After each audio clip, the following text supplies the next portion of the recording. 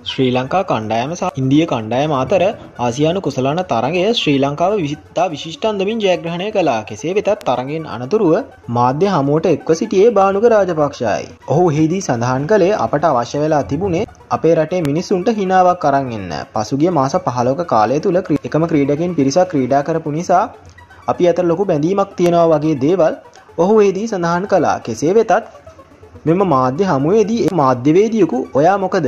කෝ කැප්ටන් ඇයියාවේ නැත්තේ? යනුවෙන් බානුකගෙන් විමසා තිබෙනවා. එහිදී බානුකයට පිළිතුරු ලබාදී ඇත්තේ මෙලෙසයි.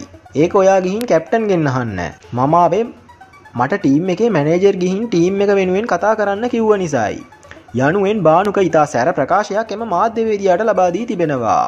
කොහොමුණත් අපට නම් කියන්න තින්නේ මේ වගේ උන් අරන්ගිහින් අපේ රටයි වටින ක්‍රීඩකයොයි සෞත්තු කරන්න එපා මුළු ලෝක ඉස්සරහම කියලායි. ඉතින් මෙවැනිදේ දැනගන්න අපේ නාලිකාවතම සබස්ක්‍රයිබ් කරන්න.